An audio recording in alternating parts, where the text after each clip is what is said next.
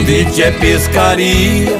Só falar me arrepia, pode crer que estou de pé.